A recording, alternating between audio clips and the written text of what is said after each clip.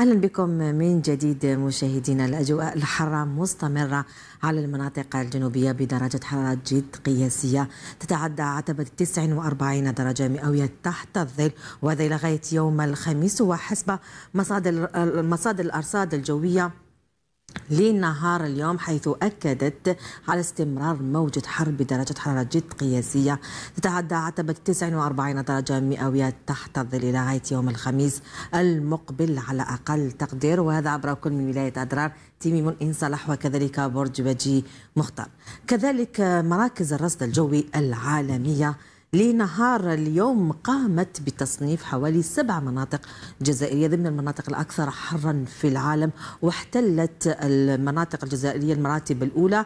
المرتبة الأولى بحسيم سعود ب 50.4 درجات تحت الظل تليها أدرار ب 49.6 درجات وحتى مدينة توغورت ورجلة ب 49.5 درجات كذلك إن صالح ب 49 درجة فاصل 4 ثم تيميمون أقول ب 49 ثلاث درجات وولاية الوادي المرتبة العاشرة ب 48.4 درجات تحت الظل.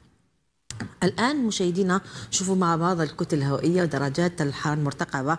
بداية من يوم غد الأربعاء لغاية يوم الجمعة نلاحظوا تستمر السيطرة القوية لكتلة هوائية جد حارة تغطي أغلب المناطق الجنوبية. هذه المرة إن شاء الله تخص الجنوب الغربي ووسط الصحراء بدرجة حرارة جد قياسية تصل أو تتعدى عتبة الخمسون درجة مئوية تحت ظل تستمر إلى غاية يوم الجمعة المقبل إن شاء الله.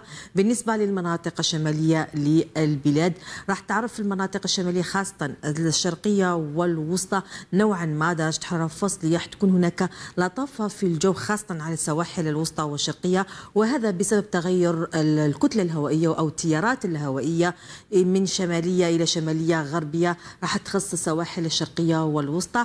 على عكس المناطق الغربية حتكون تحت التأثير كتلة هوائية كذلك حارة وتيارات هوائية حارة تندفع ضمن تيارات جنوبية إلى جنوبية غربية نحو المناطق الغربية للبلاد. الآن نمر إلى حالة البحر المرتقبة بداية من يوم غد الأربعاء لغاية يوم الجمعة. بحر هادئ وجميل على السواحل الغربية والوسطى اليوم غد. قليل اضطراب إلى مضطرب محليا على السواحل الشرقية. بالنسبة ليومي الخميس والجمعة يبقى دائما بحر هادئ وجميل على السواحل الوسطى. قليل الاضطراب إلى مضطرب محليا على السواحل الغربية وكذلك الشرقية للبلاد. فيما يخص درجة حرارة مياه البحر يكون بحر جد دافئ يكون ما بين حوالي 23 إلى غاية 25 درجة إن شاء الله. مشاهدينا بهذه التوقعات لطي ورقة حوالي الطقس العودة إلى طارق ستكون بعد الفاصل.